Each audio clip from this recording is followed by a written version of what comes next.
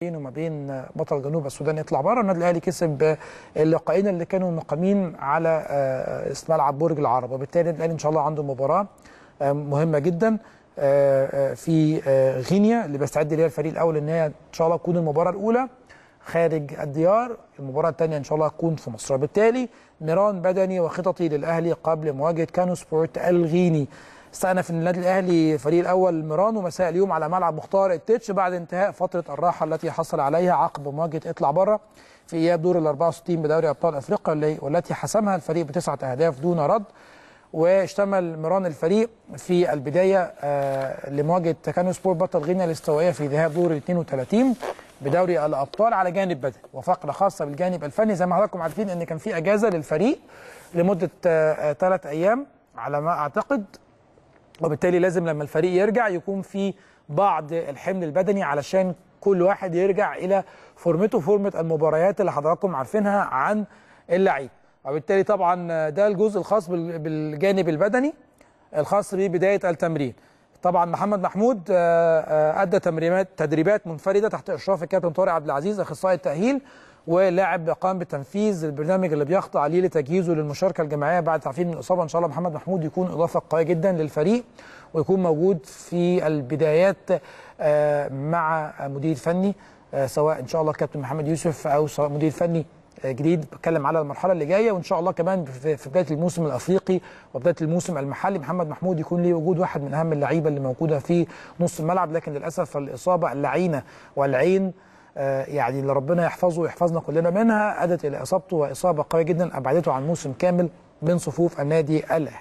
خبر اللي موجود بعد كده كابتن محمد يوسف يعقد محاضرة مع اللاعبين قبل انطلاق المرام، كابتن محمد يوسف عقد محاضرة نظرية مع اللعيبة قبل انطلاق مران الفريق اللي يقيم مساء اليوم على ملعب التتش في بداية الإعداد لمواجهة فريق كانو سبورت بطل غينيا الاستوائية في ذهاب دور ال 32 بدوري أبطال أفريقيا. يسعى كابتن محمد يوسف لتجديد دوافع اللعيبة قبل مواجهة بطل غينيا للاستمرار في تحقيق الانتصارات بالبطولة الأفريقية. طبعا الأهلي استأنف تدريباته النهارده بعد فترة الراحة اللي حصل عليها بعد فوزه على بطل جنوب السودان فريق إطلع بره. رمضان صبحي يؤدي تدريبات منفردة.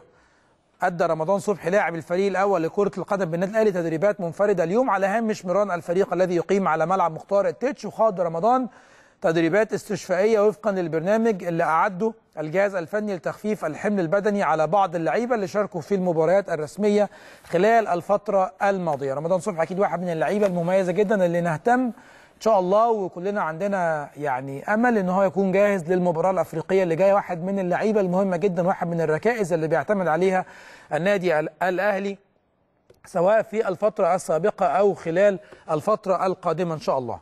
كابتن طارق سليماني يجهز شريف إكرامي للمشاركة الجماعية. أدى شريف إكرامي حارس الفريق الأول لكرة القدم بالنادي الأهلي تدريبات قوية. اليوم تحت إشراف الكابتن طارق سليمان مدرب الحراس. وقبل انطلاق مران الفريق اللي أقيم مساء اليوم على ملعب التتش خاض شريف إكرامي تدريبات منفردة اشتملت على جانب بدني قبل مشاركته في المران تحت إشراف الكابتن طارق. وده جه ضمن المرحلة الأخيرة من فترة تجهيز الحارس للمشاركة الجماعية.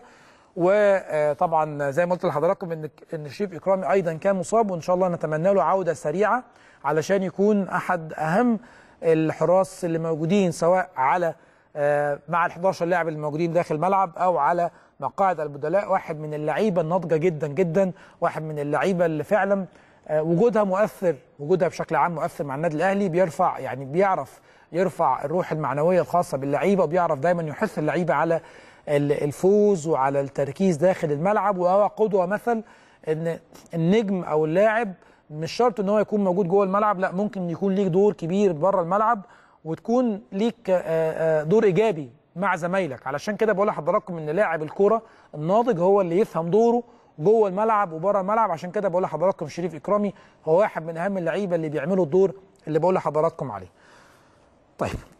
الكابتن عبد الله عبد السلام لن نفرط في الرباعية وجمهور الأهلي سر البطولات. كابتن عبد الله عبد السلام كابتن الفريق الأول للكرة الطائرة رجال بالنادي الأهلي قال إن الفريق لن يفرط في الرباعية وقادر على تكرار إنجازات المواسم الأخيرة والفوز بكل البطولات اللي يشارك فيها النادي لافتا لافتا إلى أن الجهاز الفني وضع خطة إعداد مناسبة من أجل تحقيق هذا من أجل تحقيق هذا الهدف. طبعا الرباعيه بيكون أمر صعب جدا لكن مع رجال طايرة النادي الأهلي دايما متعودين إن مفيش مستحيل. دايما الطايرة رجال وسيدات في النادي الأهلي بيمتعونا وبيشرفونا.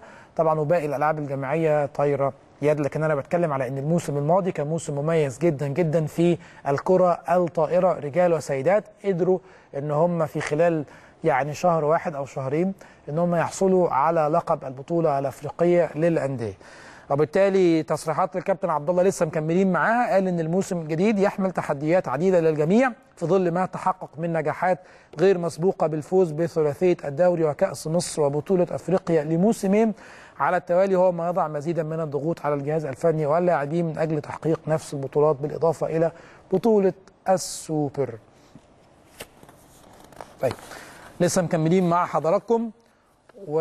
أو خلاص يعني خلصنا مع حضراتكم كده خلاص كل الأخبار اللي موجودة على الساحة الخاصة بالنادي الأهلي سواء يعني موضوع أو خبرين خاصين بأعضاء النادي الأهلي في منشآت في الشيخ زايد أو بكرة إن شاء الله المنطقة الترفيهية اللي هيكون بكرة افتتاح الافتتاح بتاعها الخاص بيها بكرة إن شاء الله. وأيضا بنتكلم على أخبار الخاصة بالفريق الأول لكرة القدم بالنادي الأهلي. وكمان اتكلمنا على اللعبات الأخرى وتصريح الكابتن عبد الله عبد السلام.